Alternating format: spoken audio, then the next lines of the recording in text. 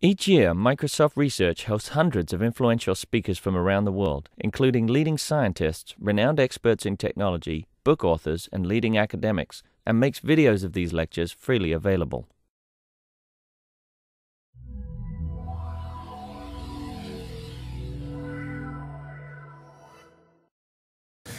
So uh, we're delighted to have Sina join us today. He's here mainly to hike, but he agreed to give a talk as well. Uh, he's finishing, he's entering his fourth year at Princeton. Uh, his PhD advisor is Rob Schapire, formerly Rob Calderbank. I mean, not that Rob Calderbank changed his name to Rob Schapire. The advisors switched, uh, and we're delighted to have him here. Thanks. Thank you very much, Chris. Thanks everyone for coming, and I'm really happy to see you again. Today I'm going to talk about basically my this year internship project, which was in AT&T, and it was basically using sparsity in two different projects, and let's see what we can do with them. So it's about sparsity in question answering and in face classification. This is a joint work with Srinivas Bangalore and Patrick Haffner, Howard Karloff, Taniya Mishra, and Carlos Scheidegger. So they actually helped me a lot in this project. And this is something that before starting I should say, this is an ongoing, these are ongoing projects. So please feel free to stop me and ask questions at any time and also make comments at any time during the talk. So let's start. You know, we all know in machine learning that in many applications, actually in almost all applications, the data that we have is actually a high dimensional data. It lies in a high dimensional vector space, but it is sparse. So we know the bag of word model in, in IR or the wavelet decomposition in imaging. And in many cases, this data is actually, this sparsity level is hidden. So we would like to learn the sparsity level and then use that, use that as a feature space in order to be able to do better learning and, let's say, classification. You know, this actually helps us removing the overfitting problems and also generalize better. So this is something that I'm going to talk also in this talk. I'll talk about, you know, extracting and exploiting the hidden sparsity level, the recovery of that, in, semi, in unsupervised and semi-supervised learning uh, cases. So we will have real data sets in the two projects, face classification and question answering, and we'll see what are the barriers, what we can do, and what are the barriers in the current stages of the work. So let's start with the face classification project. In the face classification, we have a bunch of you know, movies. So let's say that we actually we are Netflix users. We can get a lot of movies and we have them. And also let's assume that we have the uh, access to internet. So we have the IMDb cast list. So let's say that, for instance, for the Sleepless in Seattle, we'll have the cast list. We don't have any picture or anything related to cast list. Just we know who is the actually uh, who is acting in this movie. The goal of the project is then, suppose we have that for several movies. Now I give you a new movie, Sleepless in Seattle try to classify the faces of the actors, at least you know the famous actors in this project. And let's see what we can do. Um, so you know, the first thing is we need some we need some training data. Ideally, we need some label training data. So what we did is basically a way to get a, some sort of a noisy but okay training data set. We have a bunch of movies here that you can see we use a, basically, let's say, a, we implement a fast uh, standard face detection algorithm like, like Viola and Jones. Then we do some standard face alignment methods so that we make sure that all of the faces are aligned. And as a result, we have a bunch of faces detected from different movies. Then we look at two movies that have just one actor in common. Let's say Up in the Air and After Reading. They have George Clooney. And then we look at the pairs of faces in all these you know, pairs of movies that have the most similarity, something like this. You know, for instance, these two faces, we see that they are very similar to each other, let's say with the inner product similarity or Euclidean distance similarity. Then we conclude that as a result, with high probability, these two guys should be the same actor. And because those movies have only one actor in common, these two, we actually say that these two should be George Clooney. So this is a noisy way that by that we can actually collect uh, label training examples. Now after that, we, we need to now classify. So the, the next step is basically face classification. We actually we look at a lazy training actually paradigm. So let's assume that, you know, first let's assume for each face we convert it to a vector. So these are the all vectors. These are all faces of George Clooney, Peter Sellers, Ingrid Bergman, Bruce Lee. And for instance, therefore, um, this, this part of the matrix has a lot of faces of Bruce Lee that we actually have captured. Each vector is that. Then we actually somebody gives us a new face that and wants us to classify it based on the faces that are here. What we can do is basically we can actually exploit the known fact that if there, this is the face of the Bruce Lee, the, the known fact in face, in face classification and face analysis, that tells us that every, you know, every face of Bruce Lee is, uh, is basically can be represented as a sparse linear combination of the faces that we have here, plus some noise, of course. So we would like to basically, in, in a way, exploit this sparsity and classify this, this guy based on that. So let's be a little sure. Uh, uh, linear combination of the pixels? Linear combination of the pixels, exactly. Yeah. Yeah. So yeah. the driver's license people have a another representation where they look at the distance between the eyes mm-hmm. and other features, distance mm-hmm. between from the eyes to the mouth and so on and so forth. Right, right, Why right. not use that as a feature set? The, we can actually do that too. I'll talk about that in some uh, in some sense. The thing is that um, so here, so here the, the, point is that you know the, the, these angles and you know the ways that we, these spaces have are much more different. In that case, basically we have you know very uh, very restrictive control. Yeah, exactly. Set of you know feature space here is different. So this is actually this uh, just uh, you know assuming the linear sparsity is basically a more robust uh, assumption in that case. But I'll actually very shortly talk about that too. Yep. And so, so let's actually formalize the problem then a little bit. We have a vector then in Rm, let's say m dimensional. Let's assume that we actually convert it to a vector. So it is a square root m by a square root m. And then we have a matrix. The matrix has the number of actors times the number of you know, faces per actor columns. And each actor has m rows because we converted that to a uh, matrix to a vector, I'm sorry. Then our goal is to find a linear combination of these columns here such that will approximate this, uh, this vector f. So this brings us actually to the classical problem of sparse approximation and sparse recovery. In sparse recovery, if I want to say, which is actually the problem, the, the problem of compressed sensing and also a lot of graphical modeling and other related stuff too, we have a vector, let's say x star, which is the sparse. So it has only a very few, uh, relatively few number of non-zero entries. And also we have a matrix A, which actually, let's now assume that it's a general matrix. I'll talk about its properties uh, that we actually will exploit. But let's say that this is this. And also we have noise. So we are given a vector f, and somebody tells us that it is A, the matrix that we have, times a sparse vector x plus noise. And our goal is to recover or approximate x star from the measurement vector f. Um, so of course, let's, for the beginning, even forget the noise. What we want is to solve this optimization problem. Minimize, so L0 says the number of non-zero entries. So it says we would like to have the sparse vector x such that ax equals f, you know, if we forget e. But unfortunately, this problem is NP hard.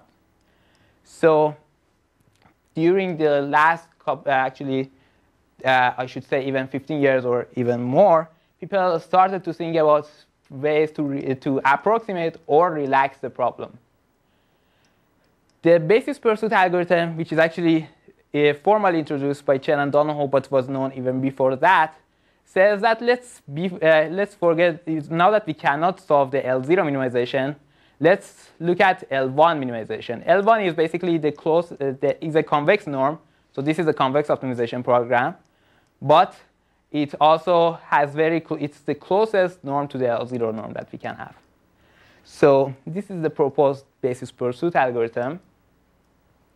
And of course, because we have noise, we have to uh, consider noise too. So the lasso, which was actually introduced by Tibshirani and also is used very widely, says that we can use the L1 minimization, but uh, with this constraint. So we say that we are okay. We, of course, we don't have exactly this uh, linear equality, but the residual, we want that to be small, be smaller than the residual of the norms or a constant times that.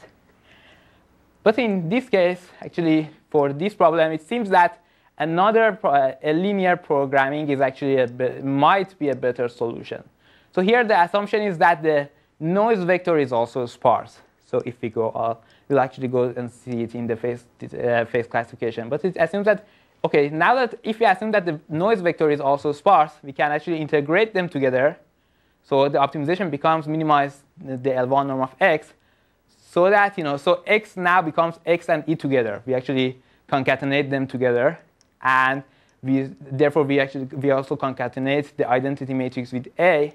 And we would like that to be f, the vector f that we have.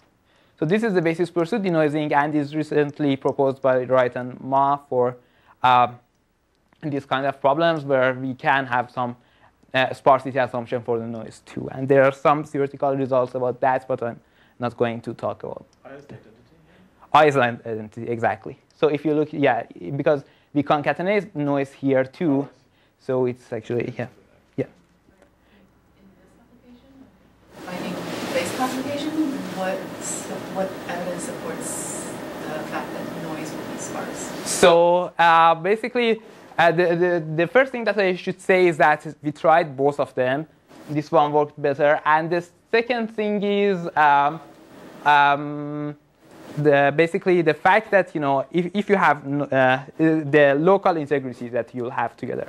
So the pixels that are close to each other will be actually very we uh, like them to be close to each other. Let's let's assume that for instance the eyes or the noses or and these things.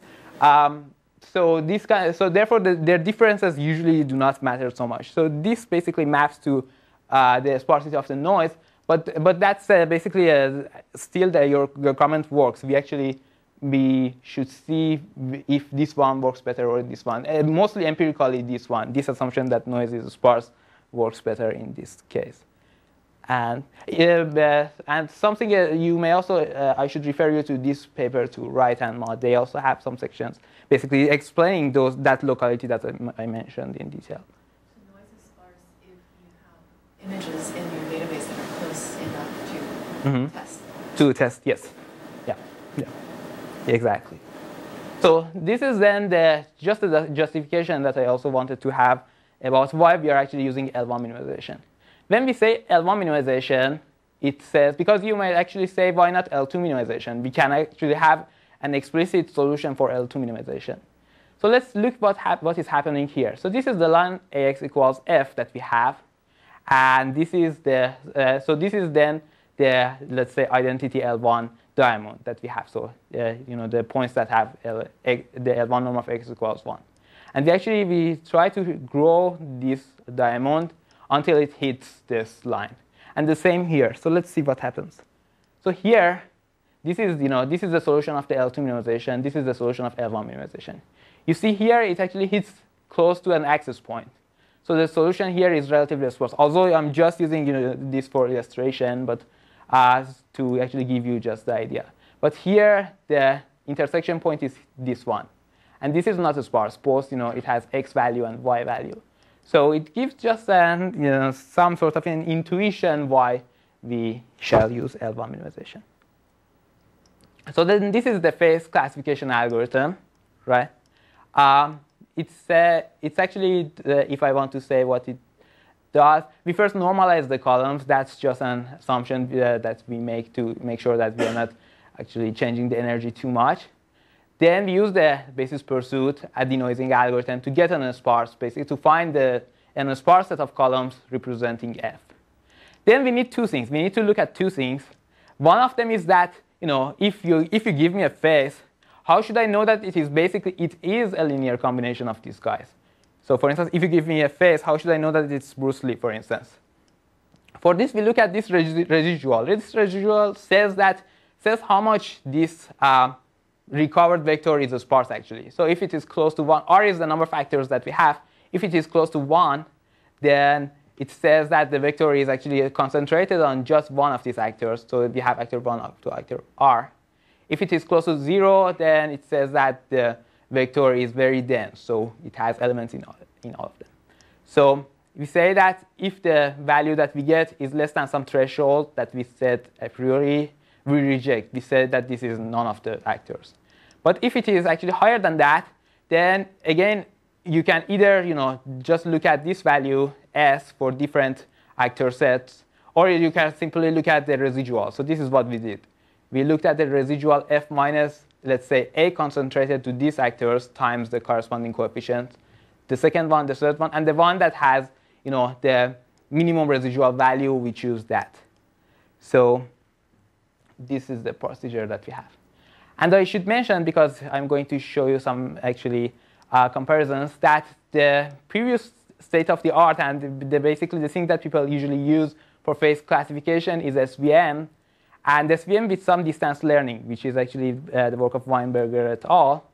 And it basically, so it's again based on the similarity of the faces, the, the, the thing that we mentioned that a new face, if it is a phase of Bruce Lee, it will be very similar to the training set, the training set phases that we have. So we use linear kernel is usually fine, but we can actually also try to learn a distance matrix. So we can actually try to learn an affine transform. In that, we'll have a better representation of the vectors. L is global? L is global, yes. Yeah. yeah. And so, the, so the, Weinberg Kilian actually proposes an, SV, an SDP semi-definite programming for learning this uh, re relevant to the optimization of the support vector machines. But you know, even though they provide a specific algorithm for solving that, it is usually slow. So the drawback of this comparing to SVM is that learning this is usually takes a long time, but it is global, so we can actually do that once. And the good thing is that, as we'll see, it does something better. Yes, sure. Can I ask a question two slides back? Yes, sure. Uh-huh. So the, the you output, are you, you're not redetermining the best vector for just the AI. You're using the vector you had determined once. Mm-hmm.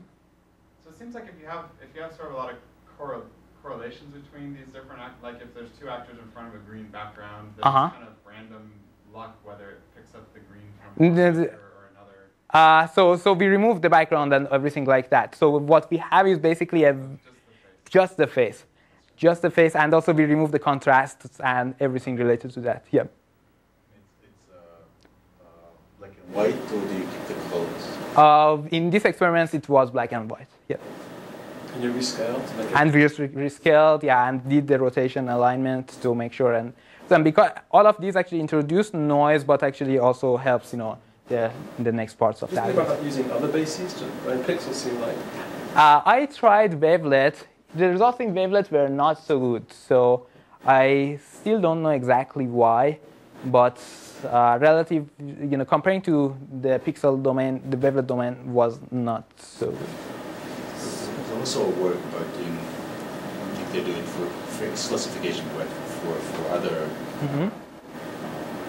image classification, they use kind of patches, try to build mm -hmm. image out of patches mm -hmm. of images from, you know, from the same Mm-hmm. Sounds kind of resembles. Right. That's that's a good point too. The the thing is that the the thing that I have to ask you actually is we want this ultimately for in an you know in an online setting. So we want to have these classifications in an online case. If we have patches, can we do them also efficiently online? I think if we can, then that's actually that's worth trying that, and I'll be very happy even to talk to you about that at some point after it. I'm not familiar with the state of the art in this. Mm. So yeah, so these, these were just the very initial experiments that we did. We used uh, four actors and 80 faces for each, uh, for each of them. And then we used uh, cross-validation, and we looked at the cross-validation errors of you know, the actors. And so this is the basis pursuit, the L1 minimization that we use, the basis pursuit denoising. This is that with distance learning. So we actually we map the data from pixel domain to that learned distance domain too. This is SVM and this is distance learning SVM. So uh, the, the, so as we can see, you know, the results here in, in these experiments were actually relatively promising. Uh, but my, uh, one reason of that, I should actually say right now, was because we had noise. So the data set that we had was noisy, and that was a problem that SVM actually was facing. Uh, when we tried other you know, state-of-the-art face classification data sets, the results were much closer. But here, because of the noise, this algorithm turned out to be more robust to noise that we have. Then again, we actually tried in the next uh, experiment a larger set of actors. Here we can see the results. Something that I have to mention is, for instance, this one, this actor set that had very large you know, classification error. We looked at that. The data, the training set for that was very noisy. So this is something that uh, this is something I'll mention. Actually, I'll talk about that later. The the issue of the noise in the in obtaining the training data sets. But relatively, uh, the thing that uh, the message of these two slides were that this algorithm, even though much uh, slower than SVM, it was more consistent and more robust.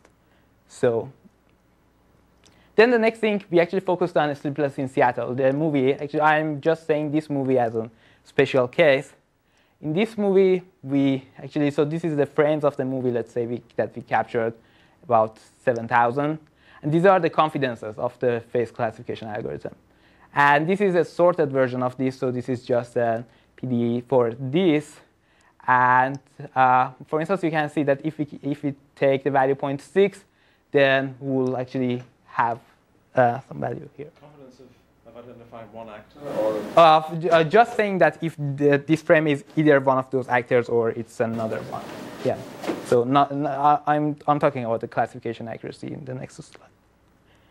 So yeah, as we mentioned, then we took one confidence value and we looked at um, the classification ac accuracy. For this particular one, I looked at, at that manually.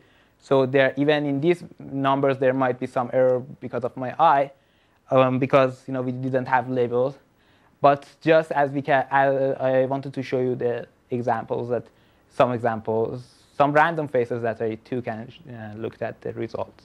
So here, for instance, this is Tom Hanks and this is Meg Ryan, and these two are misclassified here. Also, I think this one. And the next thing is actually going back to that that question is making this algorithm faster. So we, we actually we have some uh, suggestions for making it faster. One of them is running SVM first. If the SVM support vector machines has some high confidence, then we are OK. We say that the SVM is doing a good job. Otherwise, we run our algorithm. So this makes the overall uh, uh, learning time much actually faster. The other thing is that we don't need to solve the optimization exactly. This is one suggestion we can just solve it up to some, uh, some number of iterations, not up to very close accuracy value. And the other thing is that we can actually exploit the temporal coherences. So for instance, if frame 1 and frame 3 are Meg Ryan, then with high probability, the frame in the middle is also her. So as to, because in video, we have you know, these temporal coherences. So we can actually use that in the classification. So if, with, doing that, the classification accuracy a little bit dropped, but not so much. So in our current you know, uh, version of the classifier, we we incorporate these three ways. And we are, we are, we'll be very happy to have any other suggestions for them. So if there is no question, I'll go to the second part of the talk. No, why did you choose a male and a female face? Here in this experiment, yeah, because it was much more distinctive. I did experiments with Ocean 11 also and the Mexican. And in those we have, actually currently I've used uh, up to six actors, different, because in Ocean 11 it was George Clooney, and so they were different people. And in them, all, again, we had some sort of consistency, um, but of course a little bit less than this. So this was just one example I wanted to show here, especially because it's in Seattle. so now about the question answering. I thinking the question answering um, we all know about that. We actually we are interested in automatically answering questions. We have data sets, and we would like to do that using machine learning and information retrieval methods um, the best that we can. So this is actually a problem that is uh. I'm very happy Chris told me that there are going to be much more research also here in question answering. So we have IBM Watson, we have Ask MSR here, and also a uh, recent application in AT&T, which is QME. So QME is introduced by Srinivas Bangalore and Taniya Mishra. It uses a very large corpus of question-answer pairs, which are provided to them. And this, question, this corpus is basically questions here are answered by human experts, and they also categorize them. They split the question, uh, any new question that comes into two categories. A static is a question that doesn't change so much by time, and they, they try to retrieve the answer from the corpus. Dynamic is a question that changes very rapidly. For that one, they outsource the question, so they use the web information to do that. Now, for to answer the, the static question answer questions, they basically what they do is they use BLEU score or Ngram TF-IDF. So they find the best match in the question answer pair and output the corresponding answer. So this works very well if, if the question is in the corpus. So if, so if we have a very close you know, question in the corpus, we, with this method we can find it because BLEU score is basically relatively robust. So we have high precision but low recall, especially in the, you know, when we tried to use uh, random samples from this question answer set, we observe that there is some low recall. So our goal here in this part of the talk is basically to find the set of relevant questions and hope that we have a, a higher recall. So I'll postpone to ranking them and getting a larger F measure to some other time. I'll just talk about recall. And for to actually to increase the recall, our approach was to use, you know, to expand the questions. So we try to find a set of relevant words from the question from the corpus of the question answer pair that we have. For instance, you know, for the question who is the president of China, of course, this is a very simple question. We might actually be able to actually expand that based on similarities that we'll get. For instance, for president, something like leader, and China with republic, something like that, and get. So we, and to do this, we tried four different expansion methods. LDA, two of them were basically generative methods, LDA and linked LDA. Two others are uh, discriminative, SVD and link SVD. There are basically, their approaches are um, all try to you know, use topics basically. They, uh, but two of them are, these two are generative and these two are discriminative. So it's good to look what they did on our data set. I'll just check. So, so you have the, a bunch of questions with their answers. Yeah, yeah. You want to map your question to something that's exactly. Yeah, yeah. And how many questions the? Uh, so there were uh, the ones that I used were, I used a subset of them, so 5 million I used. 5 million I used, but there were much more actually. So then this is the, so this is the roadmap that we have. So this is, as Chris mentioned, this is the question answer data set that we have. We generate a co-occurrence matrix. So let's say I actually, I have to go, I'll go to the detail of that in exercise, but let's just say this, actually the rows are the words of the vocabulary and the columns are question answer pairs. So this is just for the simple, simplest approach that we can have. And then we map them to some, uh, so this is a very sparse vector, every row of this matrix. We map them to some low dimensional topic matrix. So here again, we have words, but here these are topics. And then we look at the, we treat them as you know, vectors in this low dimensional space, and then we look at the vector similarity between them to find the closest um, word to word, let's say football, which is here in this case. Just and we so before starting, we need to do some pre-processing. For pre-processing, we did the following. So first, using NLTK, we removed the subwords, and also we did some sort of stemming here, not very detailed stemming, but just to you know remove some of them. This, the third one was spell checking. For spell checking, we you know we didn't have a very you know an open source spell checker, and uh, that we can actually use that in batch mode. So the approach that we used was we say that every word that we have, if WordNet, oh, I'm sorry, this is WordNet. I'm sorry. This is, Uh, if WordNet accepts that, then we are fine. If the WordNet rejects that, and this happened actually because when I looked, for instance, for Obama, or WordNet was not updated, so it didn't have that. So we also look at the whole uh, corpus. If the co whole corpus has this word in several times, we again accept it, otherwise we reject it.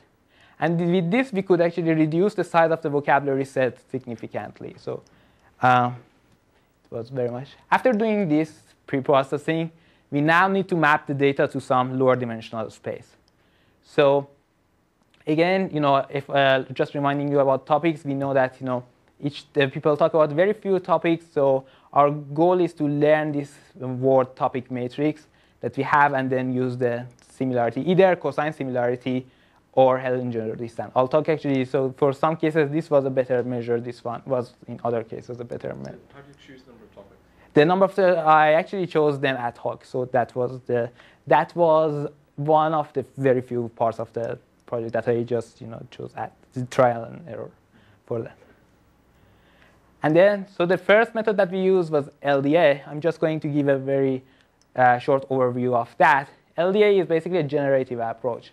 So we assume that the document is a bag of words, and uh, so as, the, as, a result, every word of this document is generated in an IID process. Each topic is in a sparse, hopefully a sparse distribution over the dictionary that we have.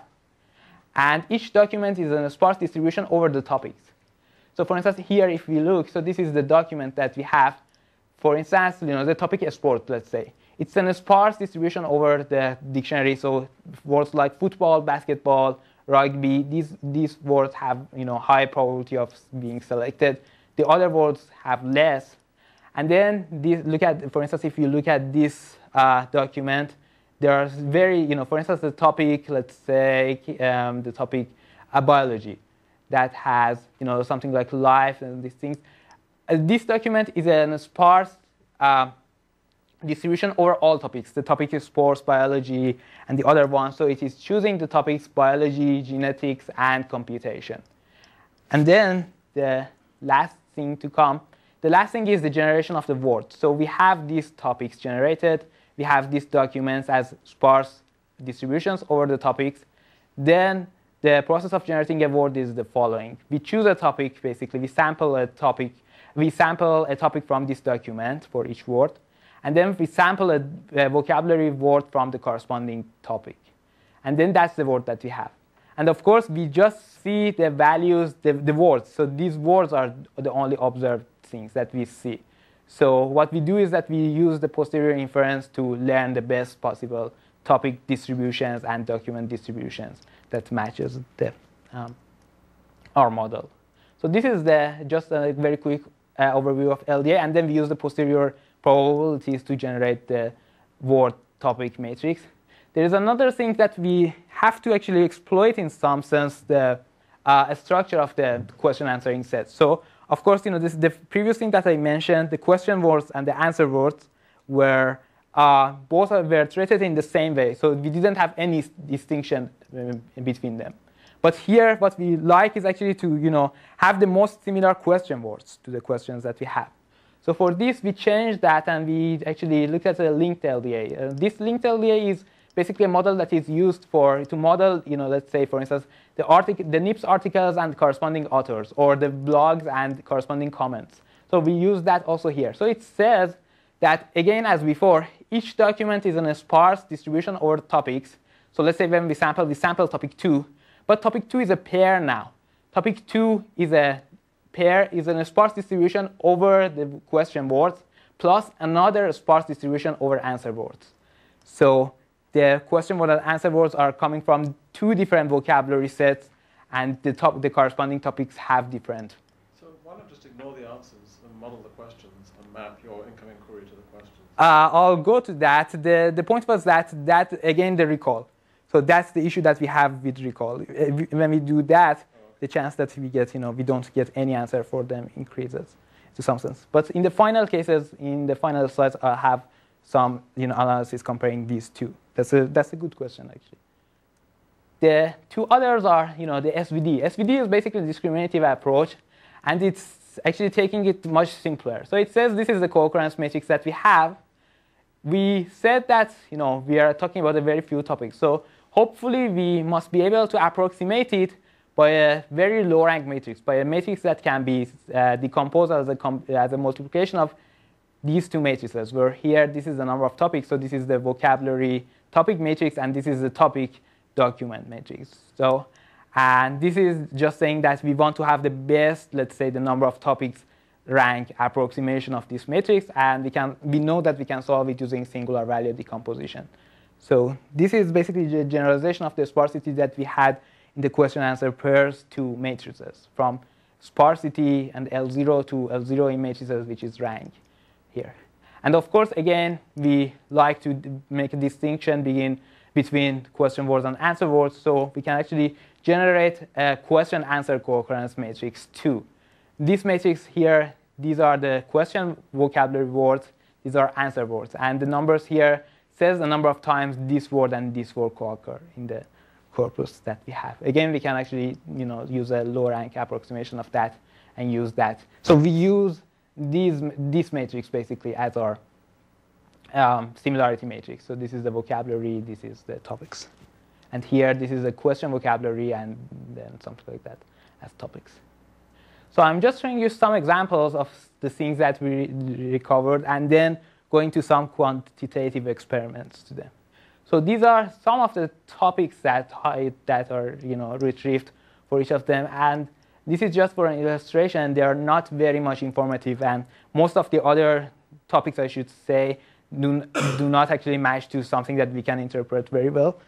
But if we go to you know, something like the most similar words, for instance, this is the word wine that we have here, we see that you know, this, the, this, the observation is that these LSA and QLSA is uh, the linked LSA basically here. Uh, provide something, some words that are more, you know, we can actually replace this wine with them or very much related. This is LDA, and I'll show more results in the next slides also.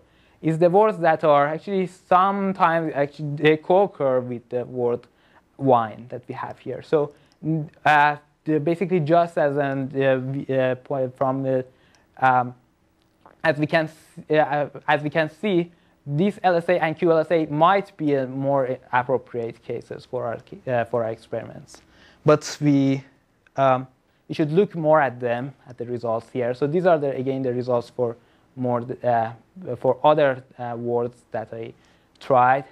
For many of them, the, the results were they were not so much different. For instance, for king, as we'll see, for some of them, but for most of them, uh, for the case of question answering, SVD or LSA was more appropriate. And um, so these are just some illustrations that we have here. For, for instance, the, I figure, uh, you know, from my point of view, the LDA itself had, you know, the least performance and the uh, SVD or LSA had the best. But those were uh, just, I'm sorry, this one too. These are the results. Uh, and in many cases, these, they were very similar. The results were very similar. And so the final. that the LDA didn't do as well as the SVD. This was actually, you know, the reverse surprise, I should say, because at the very beginning of the project, the main goal was to use LDA. Right. And we did this, and I actually talked with David Blei to make sure that we are doing everything in a correct way. And so, but finally, yeah, the, the thing was that SVD was. presumably, I don't know this, presumably the LDA community has compared to SVD with their own stuff and found it to be better. Um, this is uh, the, the point is that actually, yeah, the, the point is that in in those communities, most of the you know comparisons are just you know from the eye point of view. So they don't have very quantitative measures to compare them. And this is something that when, when David also gives a talk, people usually ask.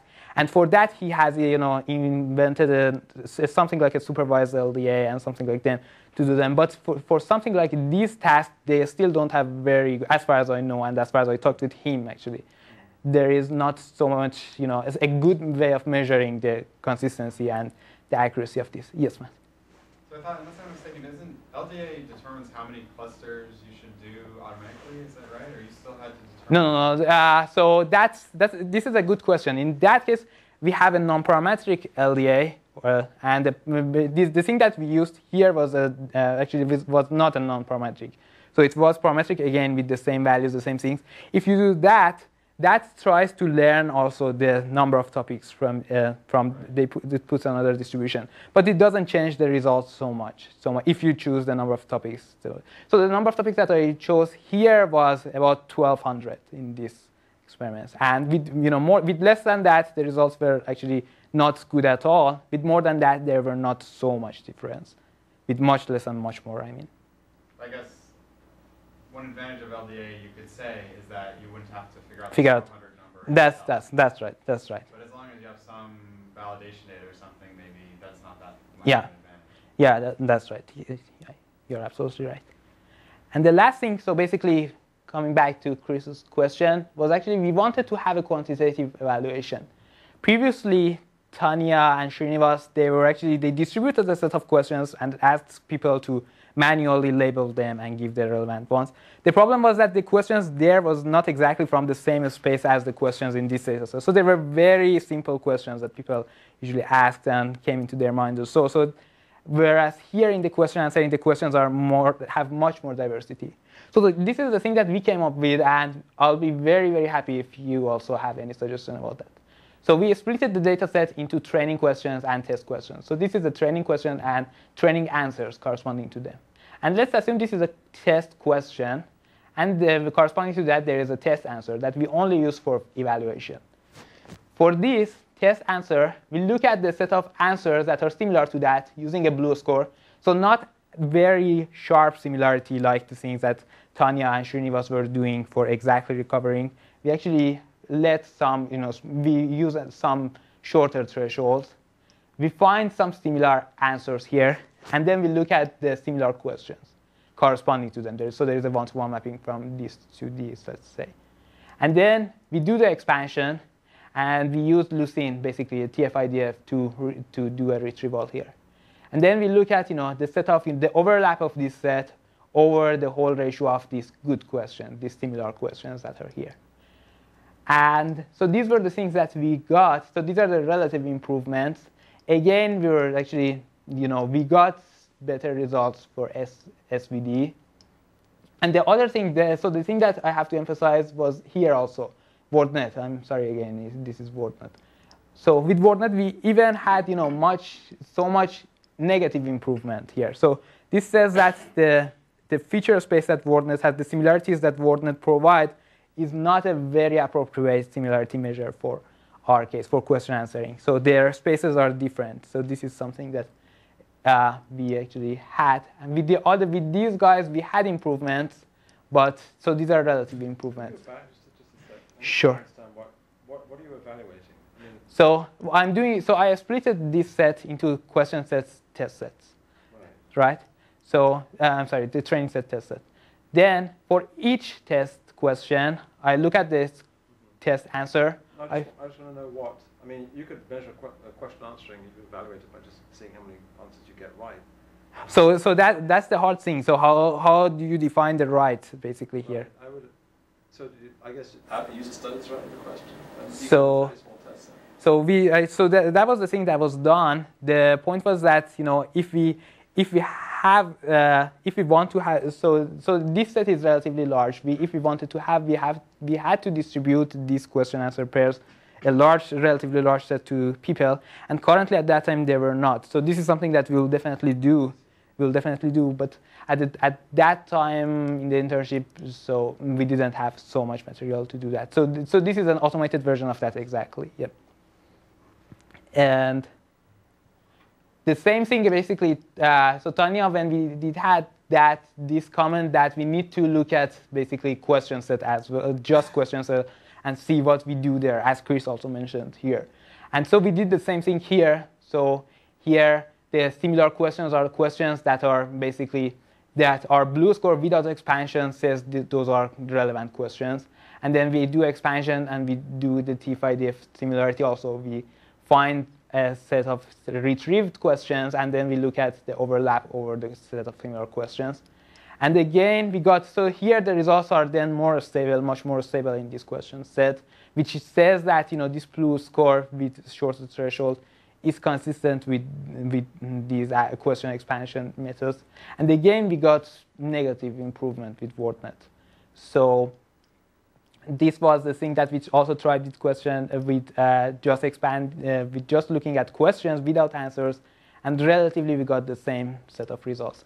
But again i totally you know i should say this was just an, an experiment that we had at that time because of the time limit.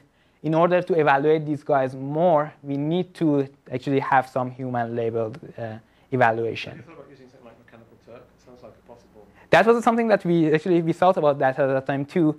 That came up to the end of my internship at that period. So we didn't, we haven't done that yet. But I guess that's something. I guess finally we'll do that in that way. So we talked about that.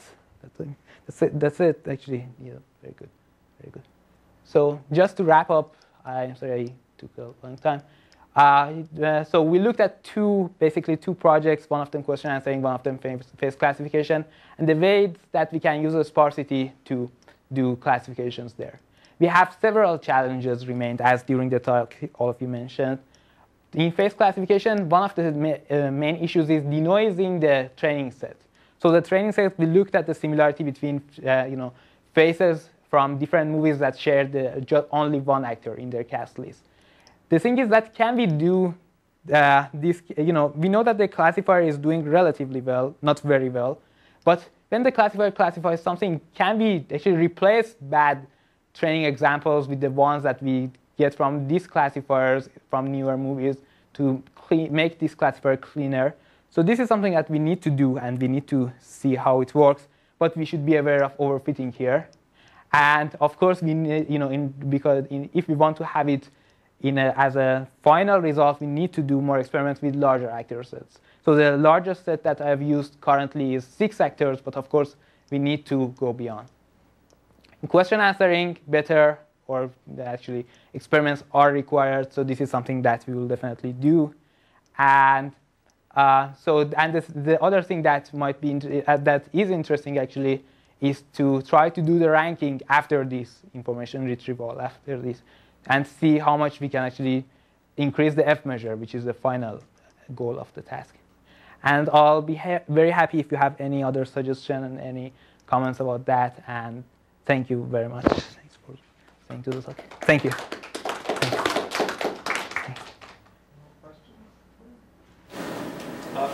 Are you around for a little bit longer than 10 minutes? Yes, yes, yes, sure. So I think I can stick around for a bit if mm -hmm. you want to chat sure. or anything like that. No more questions? All right, thanks. Thanks. See you again. Thank you very much, everyone.